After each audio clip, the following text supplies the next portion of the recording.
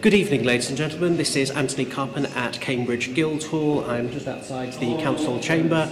Today is budget day, and the finance lead of the Labour group, Councillor George Owers, will be tabling his budget for the City Council to debate and decide and ultimately vote on. You saw recently Cambridge City Council had numerous problems trying to pass their budget because there was no one single party that had overall control. It's not going to be the case here because the Labour Party have an absolute majority on the council. That said, the Liberal Democrats are expected to table an amendment to the Labour Party's budget, so it'll be interesting to see what proposals they have, as well as the. We always get a political rough and tumble in these debates.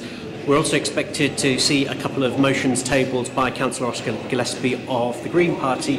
Again, we've got an interesting contest coming up in Market Ward later on this year, where Stuart Tuckwood of the Green Party is contesting the Market Ward, which Councillor Gillespie won um, with a seven vote gap between him and the two other political parties, the Labour and the Lib Dems, last year. It's also going to be Councillor George Owers' final budget as the finance group lead.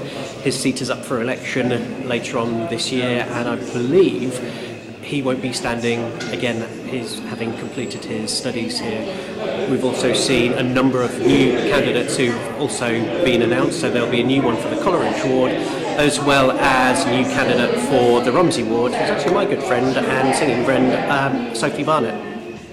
We've also got another good friend of mine who's also standing for the Green Party in the Petersfield Ward, that's Sharon Core. So what's really great to see is we've got more new candidates coming through, we've got more women candidates coming through, and we're hopefully increasing the diversity of the people who are getting involved in our local democracy. Anyway, we've got about five minutes to go before we start, so I best get in. So I love you and leave you.